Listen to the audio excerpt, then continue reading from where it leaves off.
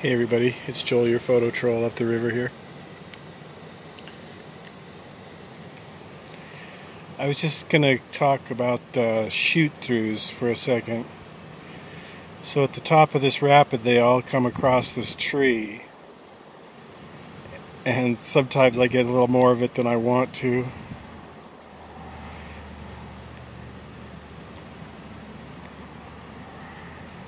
But sometimes I'll just incorporate a little of that. Oops, by cutting a vein off there. See, sometimes I'll just incorporate a little of that tree and I'll do a, a shoot through like that, sort of just just for fun. Just and sometimes it gives you a little perspective of how big the river is if you see that tree there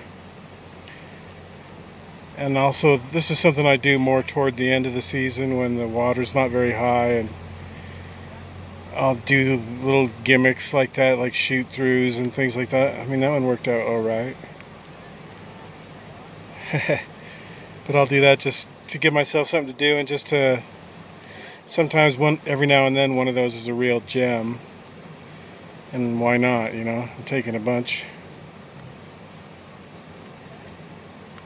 Here we go, see? So that's just another little trick. Just, you know, if you have a chance to do a shoot through somewhere, do it. Why not? This is Joel, your photo troll. I can hear my boats coming. See you down the river.